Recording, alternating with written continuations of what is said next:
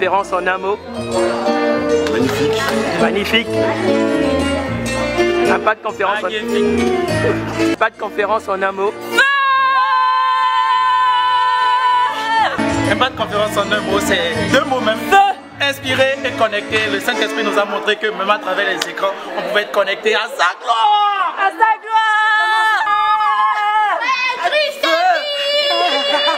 Tout est possible avec Christ C'était trop bien Euh, vraiment, c'était, c'était juste waouh. Franchement, je bénis le Seigneur parce que c'était, c'était vraiment, vraiment l'ambiance était géniale, vraiment, vraiment.